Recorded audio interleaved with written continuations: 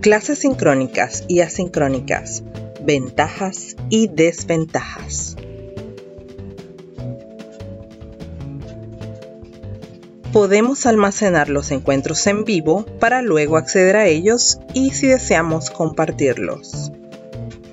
La lentitud de la tecnología puede afectar la comunicación.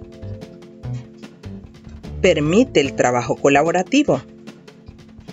Nos permite la comunicación e interacción entre participantes simultáneamente y en tiempo real.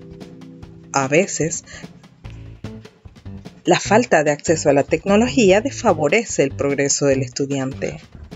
Permite que el contenido sea analizado antes de ser enviado. Adicional, podemos agregarle una variedad de recursos. Ha sido la profesora Graciela de Ayala.